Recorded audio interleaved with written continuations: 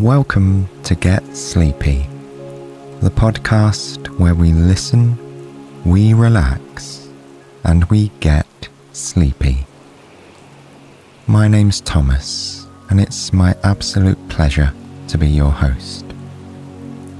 Abbe will be reading this evening's story, where we'll be returning to the Library of Time for an adventure into the past will enjoy the prim and proper pleasures of a garden party held by Queen Elizabeth I. Let's settle in and unwind.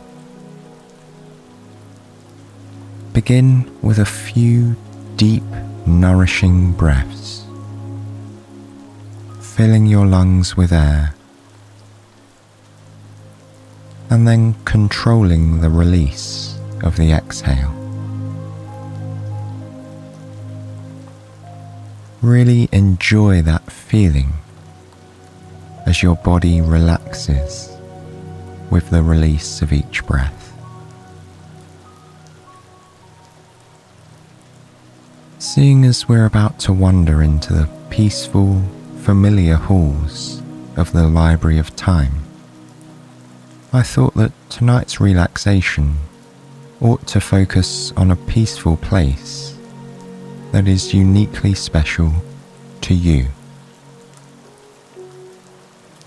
So, as you continue with some deep breaths,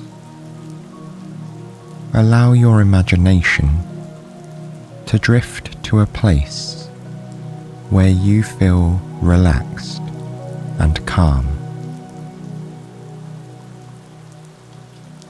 Don't worry if it takes a little time.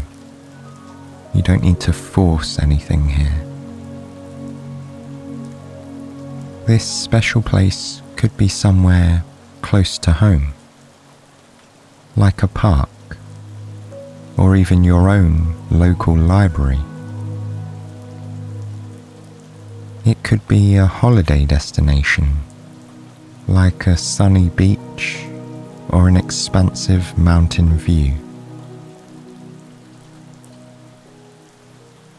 In fact, when I was putting together my notes for tonight's intro, I was sat in a local cafe and it was really peaceful and relaxing.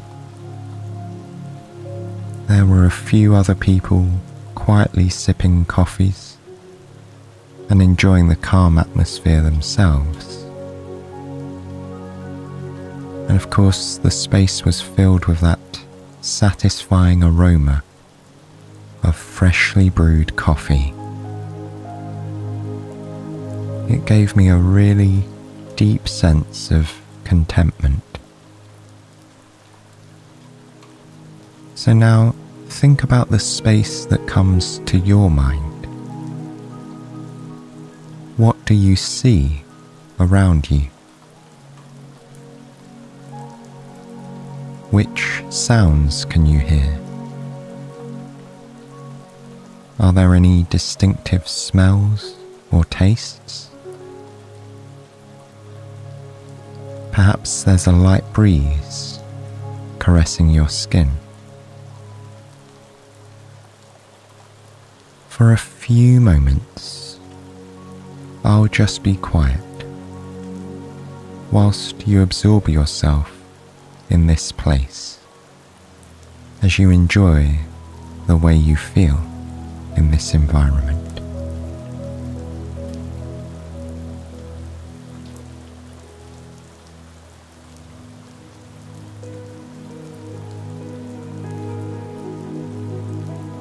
And slowly, in your own time, allow your focus to come back to my voice.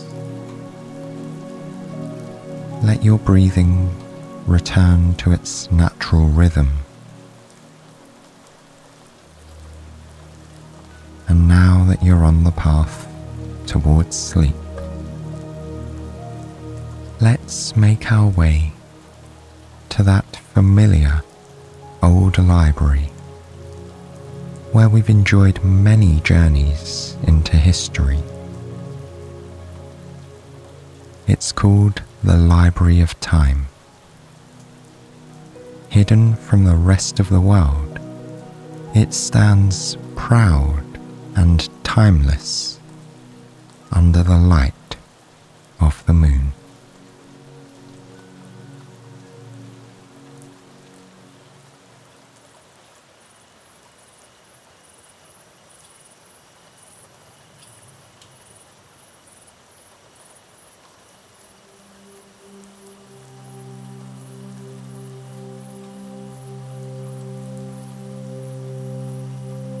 You are standing upon a smooth marble floor in front of a grand wooden door.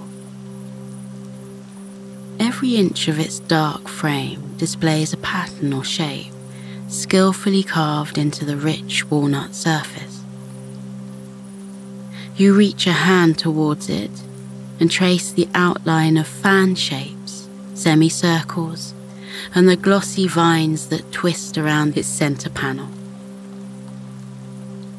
The wood is smooth and cool to the touch, and though it's firmly closed, it almost seems to vibrate beneath your fingertips. Gazing at the door, you make out a row of elegant roses, proudly displaying their petals, carved into the wood. The shape of the roses seems symbolic and comfortingly familiar though you can't quite place where you might have seen it before. Below, in the centre panel, is a majestic domed crown, jutting out beyond the edge of the dark polished timber. It has an ethereal quality about it, furthered by the letters E and R embellished beneath it. Could these be the initials of the crown's great owner? You wonder? Captivated, you turn the polished brass handle of this enchanting door. It creaks open, leaving you standing at the entrance of a grand and opulent room. Glancing around, you realize it's a library. And yet, it's almost cathedral like in appearance with thick stone columns reaching up to lofty heights. At the ceiling, they come together to form an intricate lattice above you. The room is brightened by many stained glass windows. They decorate the walls, creating a waltz of moving colour upon the white marble floor. Above your head, a garland of lit candles fills the room with its golden glow. Soon your attention is pulled towards a single golden plaque situated between two curving staircases. Stepping towards it now, your footsteps resound across the smooth marble. You pause before it and read the inscription aloud. Welcome to the Library of Time. Only the most curious of souls can find this place. Each and every book connects to a different time and place. While in the past, you will neither be seen nor heard you cannot change the past after all. You can only learn from it. And learn you shall. Filled with a sense of curiosity and wonder, you turn to walk upstairs. Your hand follows the line of the smooth wooden banister as you do. When you reach the second floor, you find it's lined with tall, standing shelves crafted from the same rich walnut as the library door. Each one is tightly packed with books of every ilk. You browse the bookshelves until your eyes linger upon the ruby red cover of a thick antique hardback. There isn't any title, just a year embroidered in gold upon its spine. 1569. Like the door before it, the book seems to vibrate beneath your touch. You hold it in your hands as you head over to an area behind the bookshelves. Here, you find a sloping settee, upholstered in a deep, velvety red and fastened with round, golden studs. On a wooden table beside you, a similarly gold candelabra provides all the warmth and light you require. Reclining upon the luxuriously soft seat, you open the cover, visible in the soft glow of the candlelight. The ancient book has a charming and familiar scent, and its binding is smooth.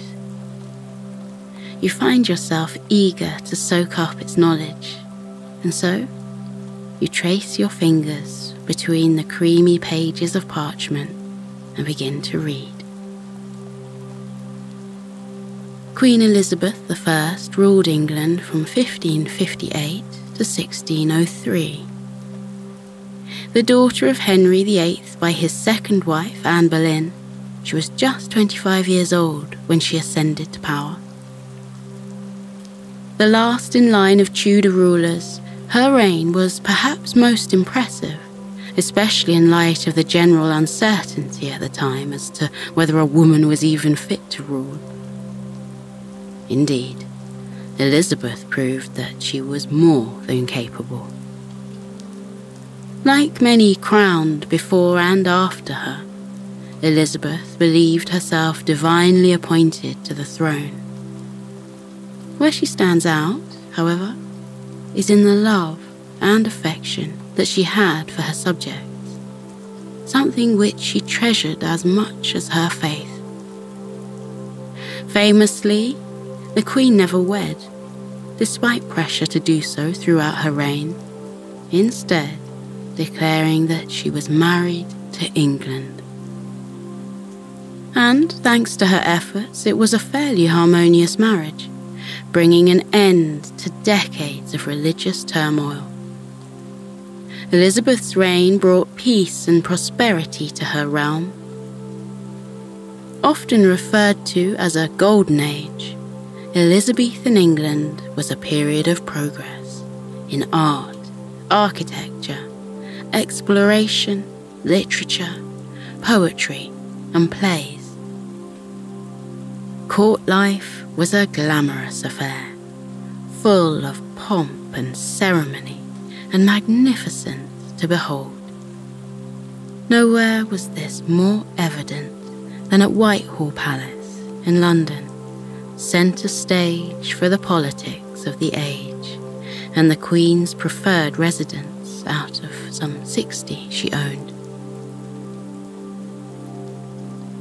Closing the book now, you place it down beside you and wonder what it must have been like to live in such a time.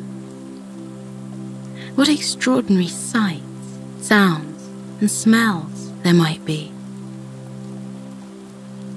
Settling further into the cushions below, allow your eyes to briefly close, taken in by the pleasant but unusual sensation they might be floating through time and space.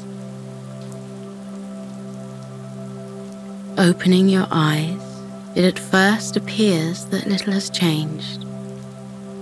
The air carries that same scent of polished walnut you noticed in the library. And the cushioning beneath you is the same luxurious velvet of the ruby red settee. Upon second glance, however, it becomes apparent that you are no longer on the second floor of the library, but in another room entirely. You find you're currently sitting in a bedchamber with walls of panelled oak lit by the warm orange glow of a fireplace behind you. You can hear it crackling pleasantly. At the centre of the room is a four poster bed, dressed in a green and silver bedspread with dark wooden pillars, reminiscent of the patterned library door. To your left, you notice a large brass bathtub with steam rising from its wide, open top. Walking towards it, you see dozens of delicate flower petals floating across the water. You dip a hand in, confirming that it is just as warm and inviting as it appears. But as soon as you draw your hand back, you find no trace of the water on your arm. It's as though you haven't disturbed the bath at all. You recall the plaque in the library. You cannot change the past. With a smile, you climb into the bath, allowing yourself to settle into the soothingly floral water. Soapy waves lap against its sides. The water level rises up as you sit down until only your head is resting above the sweet smelling water. Immediately, your muscles loosen and you're filled with warmth from head to toe. You lean back bringing your arms to rest at either side of the tub, delighting in the sound of the crackling fire, which you can see out of the corner of your eye. Each moment brings more contentment and relaxation as the aromatic fragrance soaks further into your skin. For some time, you rest in the lovely warm water, mesmerized by the dancing orange flames that leap about the fireplace. You close your eyes and drift into a daydream, immersed in the scent of roses and soap.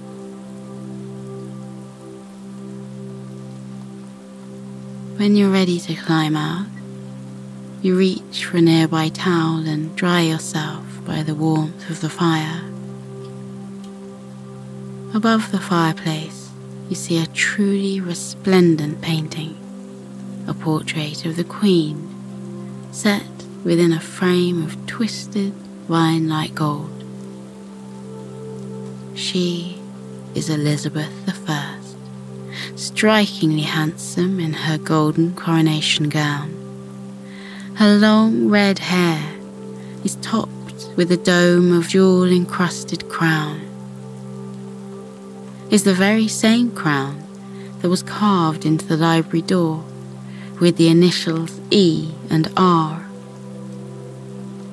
You now recognize it as the imperial cipher, which stands for Elizabeth Regina, or Elizabeth, the reigning queen.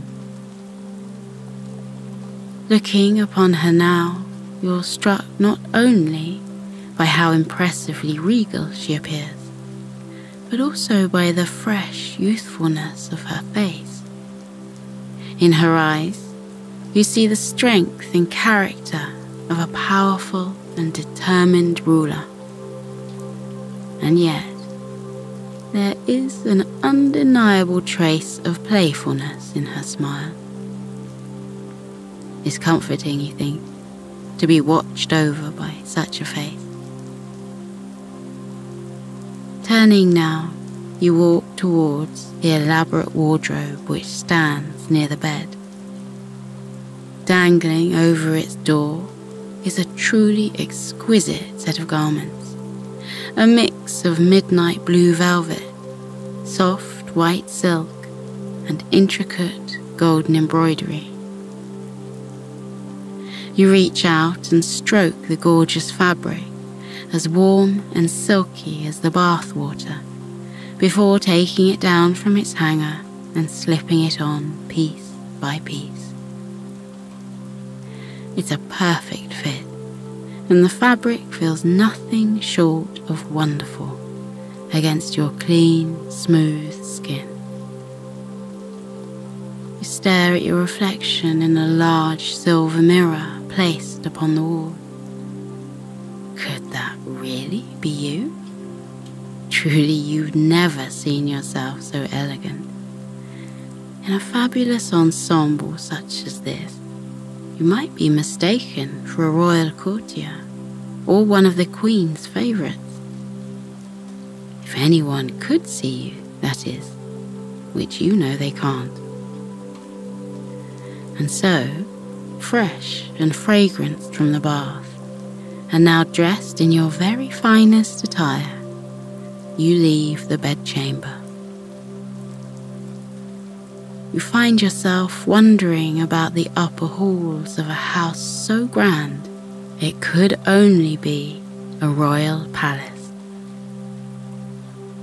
You walk across stone floors, accented with an array of thick patterned rugs and beautiful wooden furniture. All around you are the most elaborate emerald tapestries hung high upon tall stone walls. They hang from ceiling to floor, forming a wallpaper of velvet grass adorned with blossoms of every colour. Like a secret indoor garden, the walls appear ever more lifelike in the light of the opulent diamond paned windows nearby.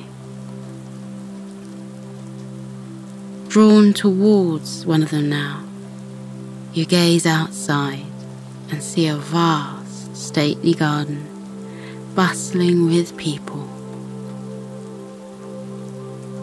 You gather from both their uniforms and behaviour that they are likely royal servants, readying the area for some sort of occasion. You see huge red marquees being erected upon pristine jade lawns, and groups of people carrying food and furniture out towards them. All of it is arrayed nicely upon a rich blue carpet.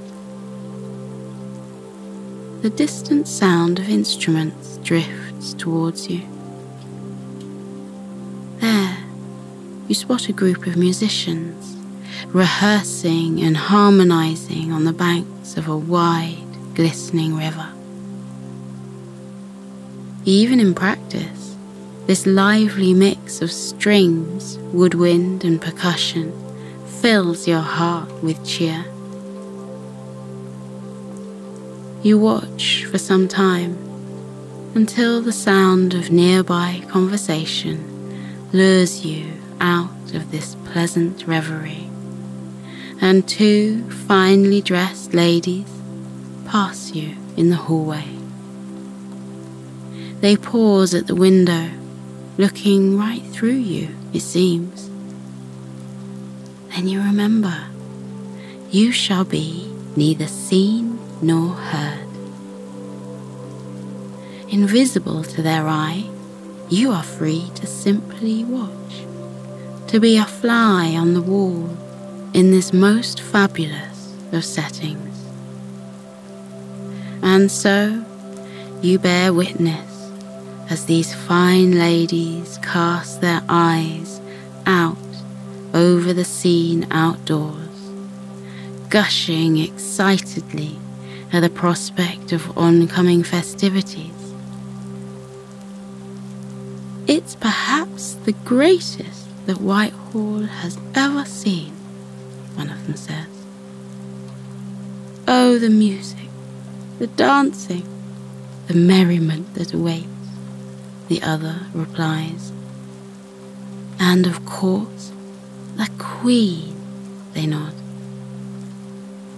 with the sound of the trumpets' fanfare from the grounds below, the ladies declare that they must be going, for as ladies in waiting, her Royal Highness would wish them by her side. In pursuit of their sweeping gowns, you glide through many more rooms and make your way down a great spiraling staircase. Here, you join the tail end of a huge crowd bound for the gardens. They are all dressed, like you, in such lavish and colourful fabrics you muse that their appearance from above must be rather like a stream of gemstones pouring out across the greenery. Again, you hear the trumpets performing the royal fanfare, only now the sound is much closer, only a few feet behind you. The crowd in front of you parts, turning to face you before bowing to their knees, hushed into respectful admiration. You see the two ladies you followed here huddled amongst many others in equal finery. They fan outwards now, revealing a truly breathtaking sight at their centre. Queen Elizabeth I, even more majestic than her portrait. Here she stands, in a stunning dress of bright, burning amber that billows out at the hips from a bodice of creamy white satin. The midriff of the dress is adorned with hundreds of embroidered flowers, as too are the huge ruffled sleeves. Her neck is fanned by a collar of upright white lace, opening out to a chest dripping in fine jewellery.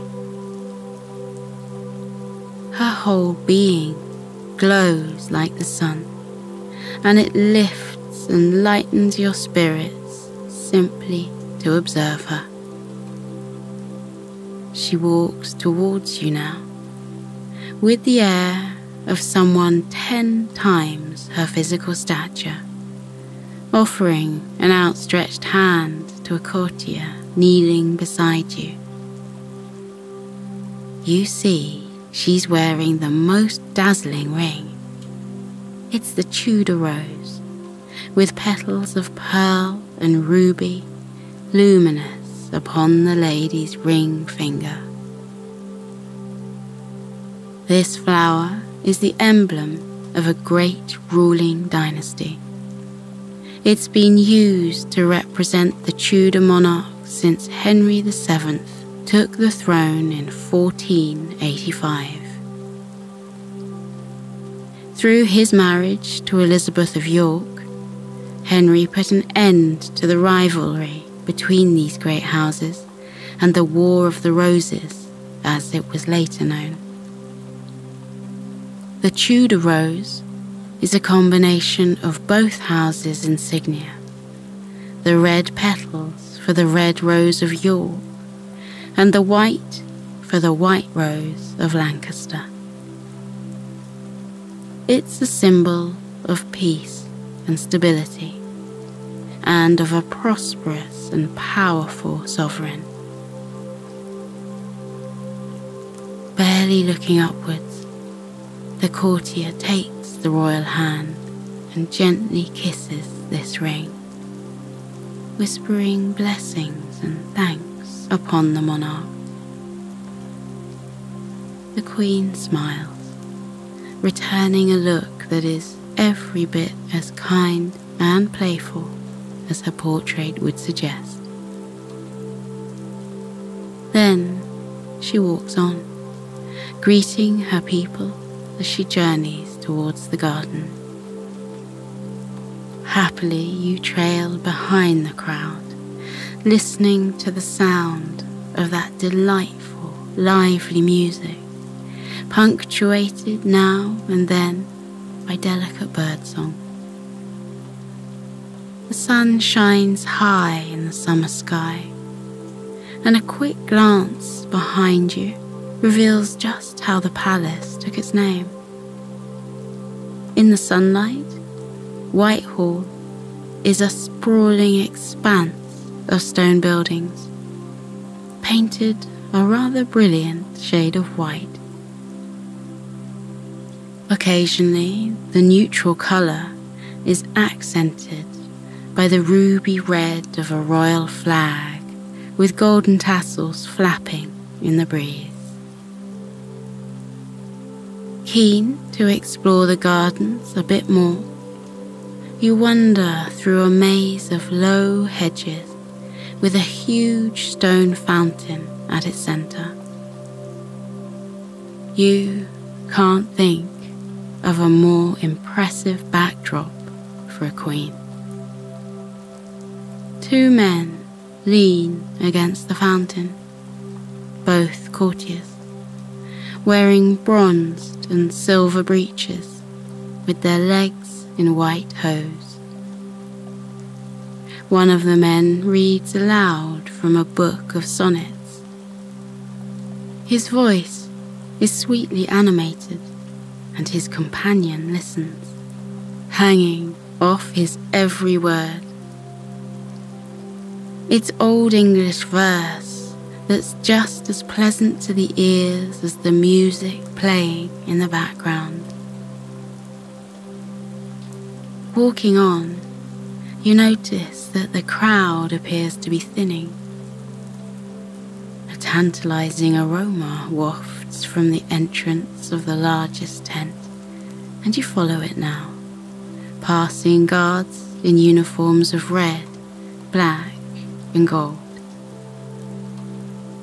Inside, you take a seat at the Queen's own table, beside playwrights and explorers, politicians and poets. The conversation is scintillating. The Queen herself is in such high spirits, as witty and charming as you could ever have imagined. A banquet of dishes is laid out before your very eyes. There are roasted meats and casseroles, and a round circular bread loaf to dip into them. Salads topped with edible flowers and fruits decorate the perimeter, and pies of every variety, including one rather special pie, sit at the center of the table. It's the very first cherry pie, invented for the Queen herself.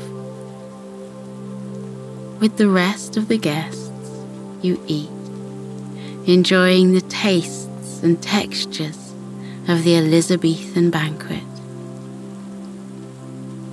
The main course delights your taste buds. For dessert, you sample a custard slice flavored with saffron, raisins, and honeyed dates before finishing with a marzipan so sweet it sings upon your lips some time after you've eaten it. Glancing down at your plate once you're done, you see there isn't a single crumb left behind. It's as though you weren't here at all, you think with a smile. Satisfied, you lean back in your chair as a feeling of warmth and contentment wells up within you. Through the tent's opening, you see a darkening sky.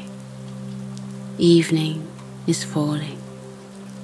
Soon the moon will rise and send its glow down upon the gardens, alongside the gentle flutter of oil lamps and candles. Perhaps noticing the oncoming darkness, the Queen and her companions begin to leave the tent. Once again, you follow. Taking a seat beside the river, you bask in the entertainment unfolding around you. With a mere word from the Queen, the band begins playing a soft, rhythmic tune, and the crowd splits.